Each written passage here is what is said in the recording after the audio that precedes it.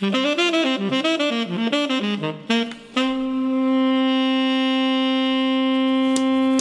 WAMU 88.5 at American University in Washington, welcome to the Politics Hour starring Tom Sherwood.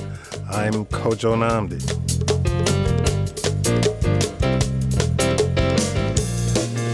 Tom Sherwood is our resident analyst. He's a reporter with NBC4 and a columnist with the current newspapers. Tom Sherwood.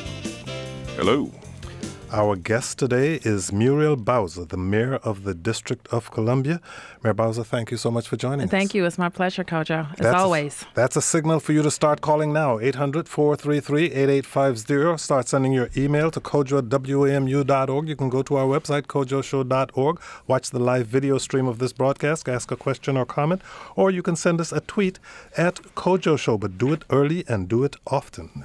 Otherwise, you may not get through at all. Tom Sherwood, tell me why Metro General Manager Paul Wiedefeld is taking disciplinary action against 28 employees, which is roughly half the track inspection department, and accusing them of a disturbing level of indifference, lack of accountability, and flagrant misconduct? Well, as Martin Di Caro and others reported this week, you know, he fired people because they were, uh, he says, falsifying safety records and inspections. And there's one thing for tracks to not be in good condition. There's another thing for the, the cars of Metro not to be in good condition, the 1,000 cars. But it's another if the employees of Metro look at the tracks or don't look at the tracks and don't report the problems. It's uh, this is uh, Paul Wiedefeld's, the general manager's effort to say we are going to do the jobs we're supposed to do here. We've got lots of problems with budgets and other issues, but if you're not doing your job, your job is on the line. Now, the union has responded saying, well, you know, these employees weren't very well trained, they weren't giving clear instructions. Well, that will all be played out if, if the union, if and when the union appeals those firings. But the fact is, a lot of people who ride Metro and who would like to ride Metro, like me, who I don't anymore, would like to see Metro get control of its staff. I still ride Metro, and my safety is what is my primary concern when I ride Metro. How did this? What did this? Uh, what was your reaction to this, Mayor? Uh, well, the general manager had given me a heads up some months ago that he had some concerns about uh, documentation, uh, just in general, and making sure that employees are doing what they're supposed to be doing. Uh, now, obviously, we want employees to have uh, their due process, but we also expect the gen- general manager to hold everybody accountable. Uh, and what uh, I think that it also does, and more than these 28 uh, particular employees or this particular incident, uh, I think it helps set um, a new standard for how the safety culture must be uh, if Metro is to improve. And Mayor, it's not just safety; it's, it's the shockwave that there are a variety of bureaucratic jobs that have to be done for the trains to run on time and to run at all. And so that's kind of the message too: is that whatever your job is, whether it's safety or whether it's a customer relations, whether you're that employee in the booth that doesn't look up when somebody comes to ask you a question, or where you don't talk to people, that across the board, you've heard all the complaints about employees. Many of them work hard, do good jobs, but most the of image, them, most but, of them, right? do. Yes. So the image, though is if it, it's it's a terrible system that needs money, it needs uh, reorganization, and that's what we're in the midst of right now. Well, I think it's also incumbent upon the general manager as we go out, and certainly I have across this region, uh, and talking and, talking to uh, my um, my colleagues about what the system needs. Part of that discussion is making sure that Metro is getting its own house in order, and and talking about safety culture, um, talking about right sizing its budget, uh, and talking about delivering on the reliability improvements that they say they're making. So if we're asking uh, riders uh, to endure SafeTrack, uh, to endure shortened hours, uh, we must also be uh, assured that the track work is getting done properly. Uh, and only the general manager in the bureaucracy at Metro will be able to ensure you that. You mentioned shortened hours. The WMATA board voted to introduce the new schedule on July 1st. It will close Metro Rail at 1 a.m. on Friday and Saturday nights, 11:30 p.m. Monday through Thursday, and 11 p.m. Sunday through June 2019. The DC board members were thinking of vetoing it. Clearly, DC is not happy with this. What are your thoughts? Uh, well, my thought is that we have to have a system that's safe and reliable, and it's the responsibility of the general manager to lay out the plan uh, to get us there. Uh, but we, it will make no sense uh, to make all these improvements to our system if it's not serving um, the region during the hours that it's open and not serving all parts of the region. And so that's very important. Uh, I think the board members, and certainly um, I support them in making sure that any adjustment to the hours is not permanent. Uh, now, I, I, probably would have liked to see a one year at a time uh, discussion, but they agreed on two years, uh, and we're going to hold uh, the the system accountable uh, in in delivering on the metrics that they said they would. But you know, part of the problem is when this first started talking, people talked about cutting back the hours. Initially, people said, "Oh, well, people won't be able to go out at night and go to the bars, so they won't be able to get home," and that's of course not only a, just a small part of the issue. The issue is people who are working late at night. Absolutely. And what and people who like Jesse Jackson used to say take the early bus to get to work Absolutely. in the morning. And it's it, the concern is for these next 2 years starting next July, assuming it starts in July, is that people who do have lower income jobs and who do have transportation problems and family, they're going to have a very difficult time. They're going to have a difficult um, time. I'm encouraged that uh, the authority has looked to expand some bus service and they may need to do even more over the course of the next uh, several couple of years to um, identify, um, you know, the, the, the particular problem routes where people aren't able to get home. Um, so I'm going to encourage them to look at it. But you point, uh, Tom, to kind of a myth of late night service, and, and in fact, the the role that public public transportation plays. Uh, it is a lifeline for for many people, and it's not just for Washingtonians. Um, the people that you're talking about uh, quite frequently are going out into the suburbs. Um, they come to jobs in the district and around the region uh, and go home to the suburbs. So it's not just a DC issue and it's not just a, a party goers issue.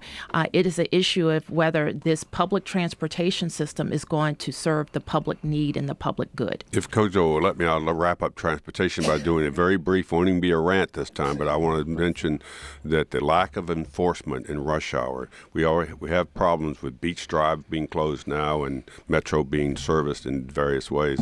But I have driven around the city and I have seen there there is a lack of enforcement. There's double parked cars. There's parking in rush hour lanes. There's truck offloading because they can't. I think we've heard this before. I, yeah, but she hasn't been here to hear it, and I'm going to stop within ten seconds. I don't know where the Public Works Department's traffic enforcement. Uh, I, they write tickets for cars parked all day long, when that's fine with me if they're illegal. But I don't see any. I see like a capitulation when it comes to rush hour enforcement, morning well, and night. Not at not at all. And so one thing that is clear that as we grow as a city, and let's keep in mind that we're adding a thousand people uh, every month, businesses and all over the city in places where there haven't been businesses before. Uh, we have an impact on other parts of our system, including the roadways that you mentioned are closed, uh, reduced hours on metro. So there there are more cars on the street, and I think that the fact that uh, uh, we see some some bottleneck areas uh, increasingly in different places in the district demonstrates how important it is uh, for us to have our public transportation system fixed uh, because I can't have enough traffic control officers uh, to, to to deal with increased volumes of cars that come from all over the region. If I would just you say met with are, President-elect Donald Trump in New York last week. you said he's a you said he is a supporter of the district. What does that mean to you? Well, uh, I will. I will tell you, it was important for me, Kojo, to get in front of the president-elect, so he was real clear about who we are in Washington D.C. Uh, and what the District of Columbia is as a city, county, and a state. I don't have to tell you when you go to different places in the country, and some places right around uh, this region, uh, people think that we're a ward of the federal government, that we don't pay our own way. Uh, and I wanted to to be clear to the president-elect that uh, we do pay our own way, uh, and we're no more dependent on the federal government than any state. In fact, more people um, pay people pay more taxes in Washington D.C. than in 22 states. We're larger than 22 states, and 80 percent of us came out on November uh, the 8th and said that we wanted to become um, the 51st state. So that is the message I wanted to, to send to the president elect. In addition well, uh, to some me, of what was his reaction to that? Well, I think he listened very in, intently, and Mm-hmm. um, and I talked to him, in fact, about how his own transition was proceeding and the own the experience that I had just two years ago in, in our transition, uh, and so he is aware of the school reform efforts that have been underway uh, in the district. He spent a lot a lot of time uh, talking uh, about that, um, and we also spent some time talking about preps for uh, the inauguration. Your turn. Well, um, one of the fear a lot of people have, I've expressed it, uh, is that not so much worried that Trump is going to, uh, small potatoes, try to involve himself in the city, but the Republican conservative Congress and House is going to move to gut anything that's left of, of budget autonomy, where the city's going to spend its own local money without congressional specific congressional approval. That it may uh, weaken the city's gun laws to just a federal standard to allow open carry and all these other things to make it easier to get a permit to carry a gun. That it may roll back the city's marijuana law uh, that the Congress, what is, I'm concerned about where you are in the Congress. I don't know how big your congressional liaison office is, but that seems to be more of a problem than what Trump might do because, uh, frankly, no one knows what Trump's going to do. Well, I think that you are you're right. Um, that our biggest concern uh, is working with the Congress. They're more ideological than um, than a, we think a Trump White House would be. Uh, they have already expressed uh, interest in some of our local laws over the last couple of years, uh, and I think they may also feel emboldened by the by the recent election. Uh, so our approach, you know, Tom, that I created an office. We never had an office for federal and regional affairs in the district. I created an office that's led by um, Beverly Perry, uh, and I have uh, tasked uh, that office and our whole government with really analyzing um, what uh, what our opportunities and vulnerabilities would be um, with with the new landscape. And our approach is that we are going to work on both uh, sides of the aisle, like we have done uh, in the previous years, and protect the values uh, of the District of Columbia. Can can I ask a political question now? Sure. Not that that wasn't one. You're halfway through your term. It's always kind of it's a blink of the eye, as they say in the Bible. um, what you where are you on a? You started out FreshPAC, which you you, you put you closed after there was some criticism of how it was done. But where are you in running for reelection? You've told us you're going to run for reelection. When you first ran, you started out in March, well, a year and a half before the election. You don't have to do that as the incumbent, but just politics now. When will you? I don't know where your campaign committee is. When will you start raising money? You know, Adrian Fenty raised $5 million and it didn't really help him. How, how are you now going forward into 2017, getting ready to run in 2018? Uh, well, I'm focused on running the government, uh, and the, the politics usually handles itself. And you know how I run. I run hard and I run fast, and I, I'll do it again. So you have a deadline, a date of when No, you I don't. You don't have a committee in place now, is I that right? don't. So nobody can give you money now if they wanted to. I, I don't have a campaign committee. Okay. Put on your headphones, please, because we're about to hear about the issue of homelessness that I was going to raise, but I'll let Jesse from Miriam's Kitchen in D.C. do it. Jesse, you are on the air. Go ahead, please. Hi, Mayor Bowser. 42 people from DC's homeless community have died this year. Many people after they were matched to a voucher waiting to move into housing.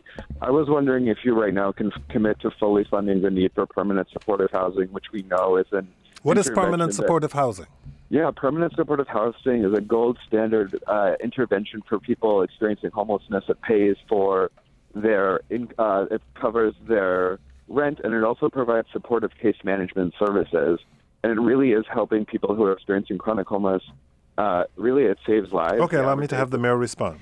Um, so I think Jesse uh, would know that we have spent two years doing more uh, to end homelessness in the district than I have personally experienced in the, the almost 10 years I've been in D.C. government.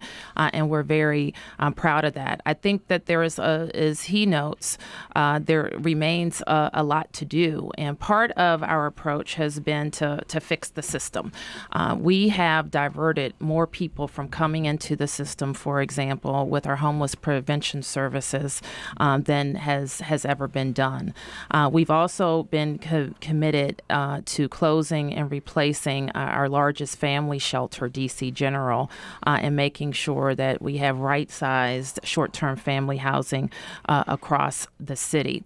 Um, but more than that, once we fix the system and making sure that we're serving DC residents and we're serving DC residents with emergencies, uh, the the other part of the equation is making sure that there's affordable housing available for people, and uh, we have an unprecedented commitment in our budget to that, and also getting uh, those funds at, out the door. Uh, so the question about permanent supportive housing is a good one because we know that many people uh, they need services. But one thing that we have also found is that they need additional help navigating even once they have vouchers. Um, people are finding it difficult to get into housing. Uh, so, two things that uh, uh, Director Zeilinger is is working on uh, is to create a fund, uh, and we're we're trying to um, get that seed that fund uh, so that we can give landlords some additional assurance that if they work with somebody is coming with a voucher from the city, that they will have a little bit less risk, and this fund may be able to help them. Um, putting the navigators in place has also been helpful because people who've experienced homelessness and experienced trauma, even with a voucher, sometimes they just don't know how to navigate uh, the system to go out and help uh, to, to help themselves find find housing. So we need to help them do that. So our commitment is unprecedented. I look forward to going into this budget year, uh, also getting the hundred million dollars in um, in all of the things that the system needs uh, to make sure it's functioning as an emergency system for DC residents. You've embraced the housing first concept. Absolutely. If you can get somebody stable in a home, you can make you can help them better. But one of the issues politically has been your uh, your dramatic move to uh, close DC General by opening shelters in all eight wards. You've you've had some real pushback in Ward Five and Ward Three, particularly. Um, do you think you can meet your goal to, to have all those shelters open and running by 2018, or have the problems uh, going to push that deadline past that? It's not the year? problems; it's the changes. Um, the, the, council, council changed. changed. it and had three additional uh, sites, and those sites now are going through the process that the previous sites had already been through. Um, so we expect those three new sites um, to go before the Board of Zoning Adjustment in March. Um, uh, my team was out uh, just this week, I believe, in the three new site areas talking about uh, the updates uh, to the design. Uh, so the council, uh, by its changes, has kind of put the construction of those new sites out to 2020. So you're not going to meet the 2018. You had initially said that most optimistically that you hope to end homelessness in the city. I think by 2020. So we're every, it's like government and everything gets pushed back, right? You try no matter how hard you try, no matter what happens. Well, no, I, I feel like um, very strongly that the, the changes that we make to from diverting people from homelessness to right sizing the system to make it an emergency system, not a queuing system for affordable housing. And uh, we will need some additional legislative changes that will be controversial. Um, and uh, the, the I'm asking the council to, to vote on them early in, in the new year. I know that you've been talking to people. Excuse me, one more quick.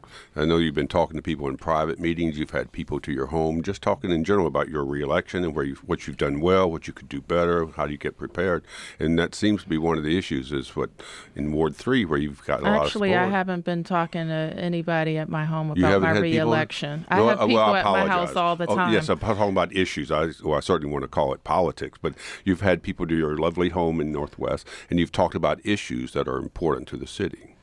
I, I, I interpret that, that, as in, politics. In, but I do that at my home. I do that in But- community but- rooms. I do that at churches. I do that on walks. Ward three, yes, you I do that everywhere. Yes, and Ward three though is is one of the key wards for your reelection, and this homeless shelter at Idaho Avenue has caused some heart burn?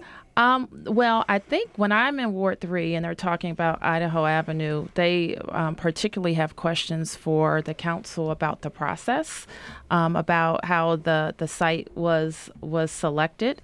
Um, but I also can go all across Ward 3 and people say, we want to end homelessness and we recognize that we have a part to play in it.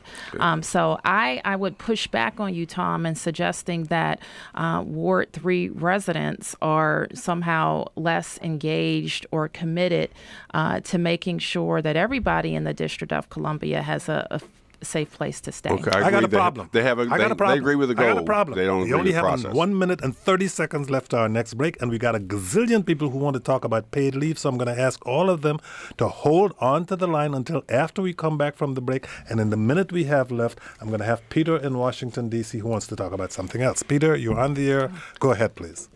Uh, good afternoon, Madam Mayor. Uh, Hi. My my question is about uh, school modernization. I mean, the city has a budget surplus of about 2.2 billion dollars, and there's still a uh, a huge unmet need. Uh, in terms of schools that haven't been touched, who've only been partially touched, who projects have been scaled back. And I was just wondering if you're prepared to consider using any of the surplus funds, uh, you know, to accelerate the school modernization process.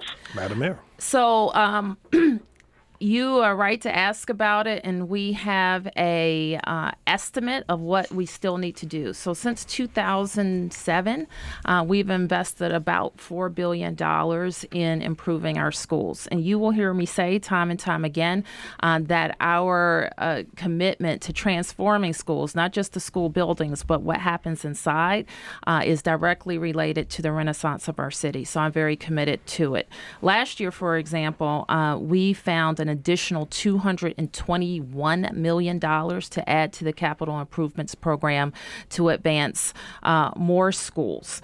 Uh, we estimate that we have about $1.5 billion worth of work remaining. We have eight schools um, that haven't been touched and are in our current CIP, um, CIP. only for, for our capital improvements plan, but only for planning, and five schools that haven't even made it uh, to the the budget document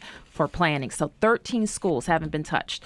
35 schools um, have had what we call a phase one update, which means they they got uh, you know some work, but more work remains. So we need 1.5 uh, billion dollars, which is doable. Your question about surplus uh, is we don't exactly have a surplus. What we have are operate. We have There goes my reserves. minute, but go ahead. I'm sorry.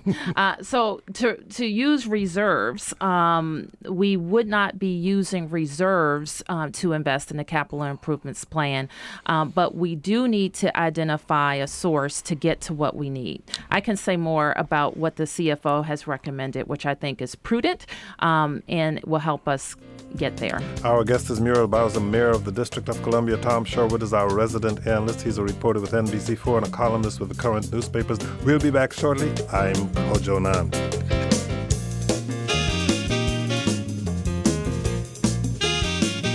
Welcome back to the Politics Hour with Tom Sherwood. He's our resident analyst, a reporter with NBC4, and a columnist with the current newspapers. Our guest today, Muriel Bowser, Mayor of the District of Columbia.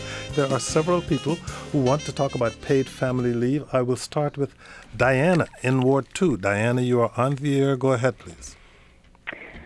I live and work here in D.C., and my son was born very prematurely and spent months in a D.C. hospital. Mayor Bowser, how do you expect workers and families going through situations like mine to give their children the care and attention to ensure they have the very best possible start in life if they don't have access to paid leave and are expected to return to work while their children are still in critical care in the hospital if you don't support the passage of the Universal Paid Leave Act? Before Mayor Bowser responds to that, I'll add a few more people to that conversation. You should know that the D.C. Council advanced one of the nation's most generous paid leave policies in the country, and that Mayor Bowser has expressed concerns about that legislation. We got one tweet from someone who says, Mayor Bowser, why such lackluster support for paid leave, D.C., a policy that will increase gender equity? And another who says, ask Mayor Bowser why she doesn't support access to paid leave, even though 80% of D.C. residents want to see it pass. And then there is this from Alan in Washington. Alan, your turn. Thanks, Kojo. Hi, Mayor. How are you? Great. Uh, I guess I'm one of the 80% of people that supports paid leave in concept, but I'm a little worried that the $250 million or something to that tune uh, might be better used on more immediate priorities like fixing Metro, as you discussed earlier, earlier or, or you know, building better schools, affordable housing, that sort of thing. I mean, at this point, with all of with that context, this paid family leave seems like a bit of a luxury item.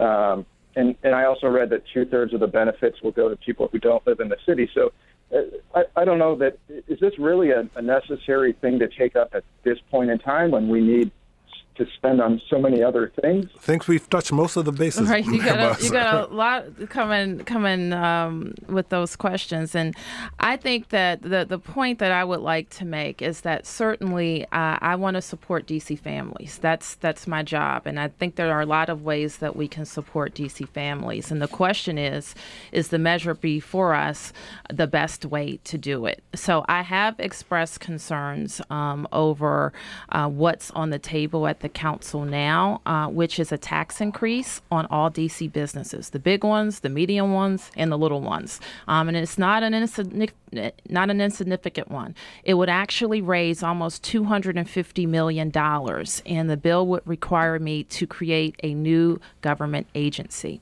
Uh, a $250 million agency would make it about the fifth largest expenditure in DC government.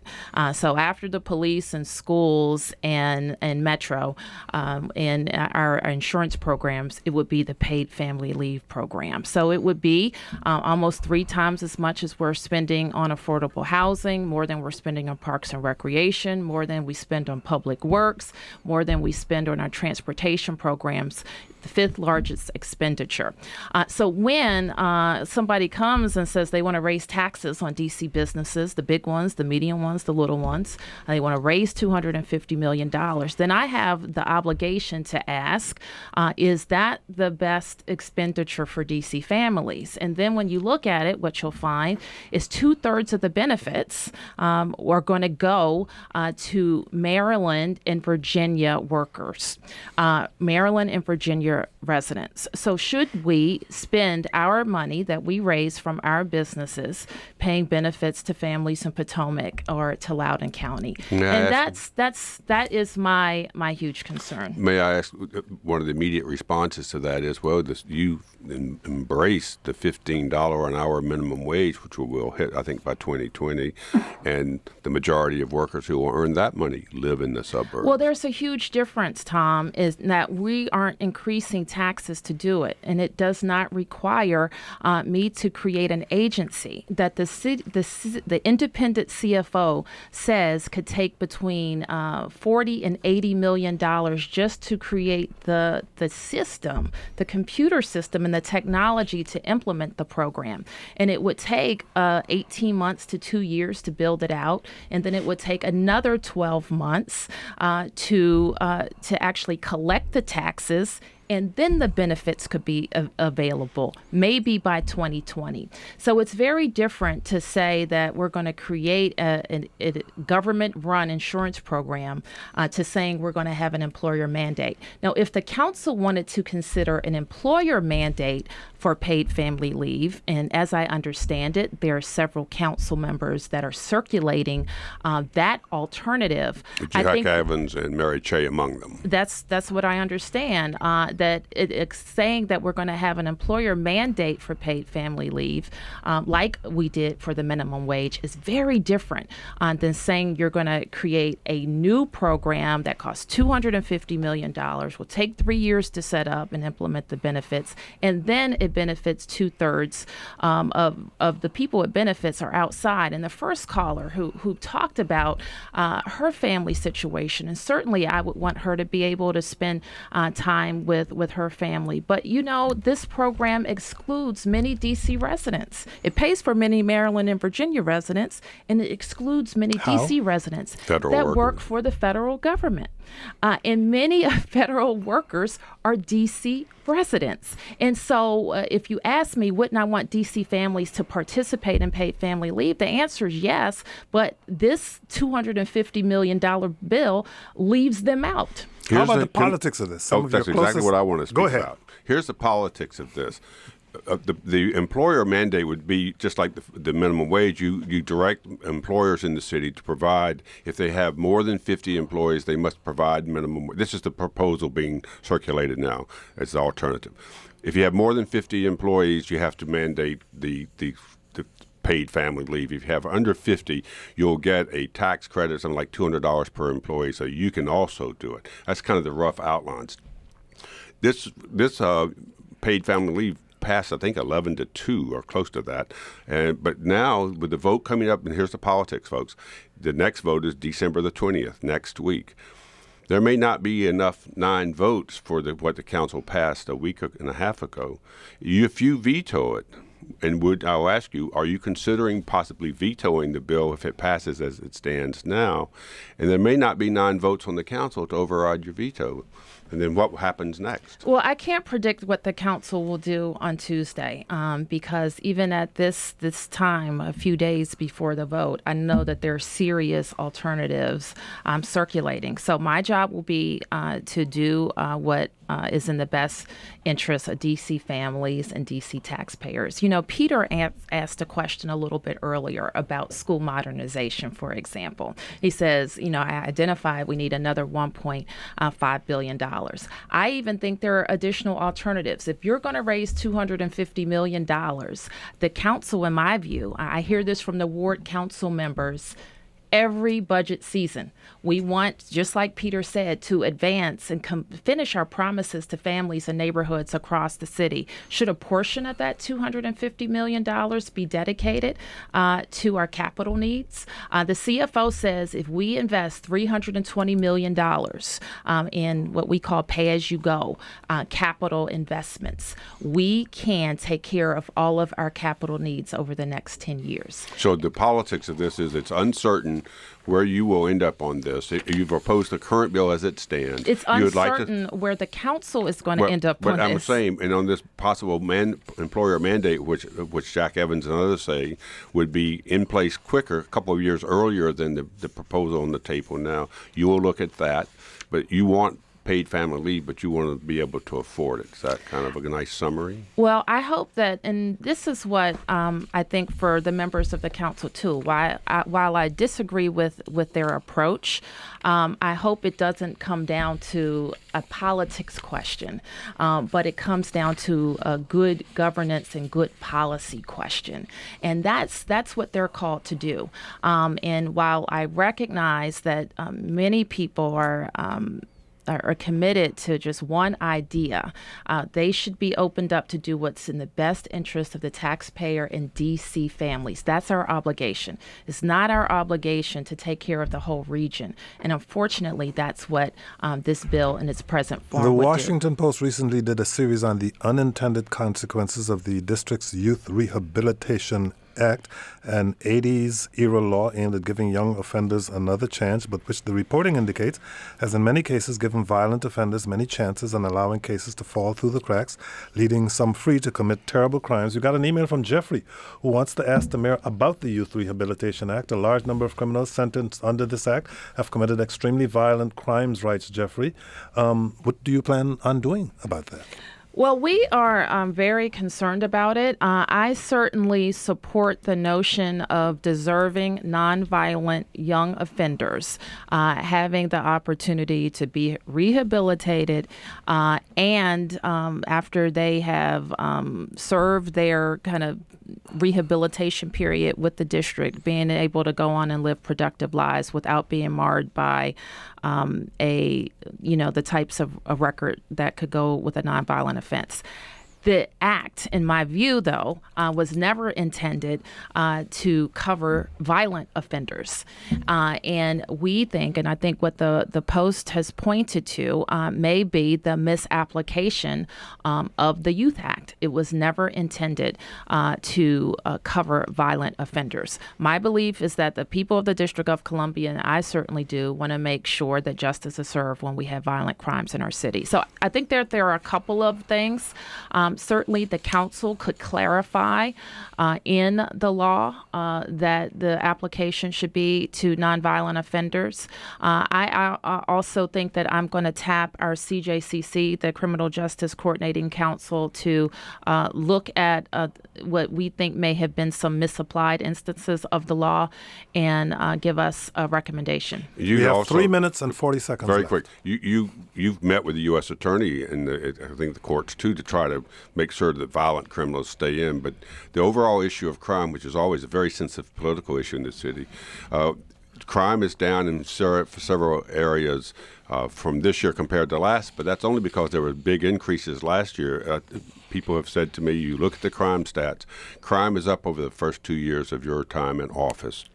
And that could be a political issue for you going Actually, in for re-election. It's down. It's down no. in, in all categories, but I think one since 2014. Well, homicide, assault with deadly weapons, robbery with guns, citywide are up homicides are even in Ward Four. Homicides are up in Ward Four. I think there was something like six last year, and there have been thirteen this homicides year. are down by eighteen percent in the city, citywide. But yes. in Ward in Ward Seven, they're up like thirty three percent. Well, there are generally places, um, and when we look across the city, uh, where we know we have concentrated areas of, of violent crime, and we are from preventative services to policing services attacking that violent crime. But let me be clear: our cat, the, the homicides are down across the district. From what uh, period uh, of time?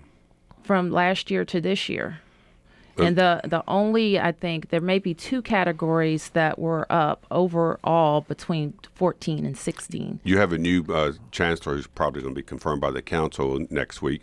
Uh, what about Peter Newsham? He's the interim uh, police chief. Uh, he's he has a pretty good record in town of being, getting around. People like him, very similar to Cathy Lanier.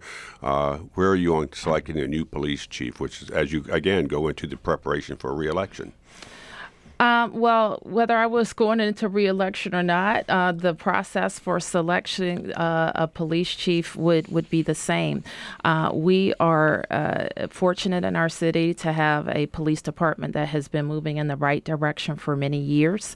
Uh, we have invested in public safety in, in some unprecedented ways. For example, last year, I mean, la- yesterday, um, we outfitted all of our police officers, our patrol officers, with, with body worn cameras.